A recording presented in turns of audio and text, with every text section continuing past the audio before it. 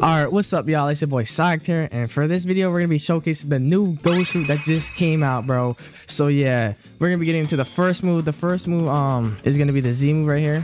As you guys can see, it's just like the first move, and also it has way less end lag, bro. So you can probably combo extend very easily off that. Now we got the second move.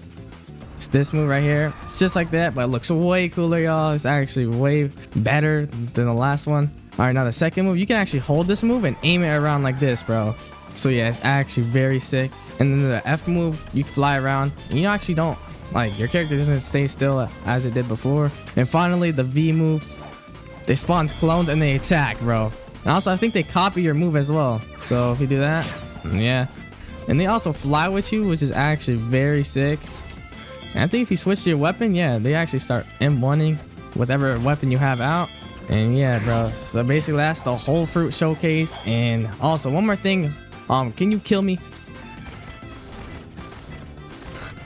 So yeah, you guys also get a free revive, bro. Literally, you don't have to press C anymore for the revive. So yeah, that's the full showcase. If this showcase helped you guys, make sure you guys like and subscribe as it helps a lot. So I'm out of here. Peace.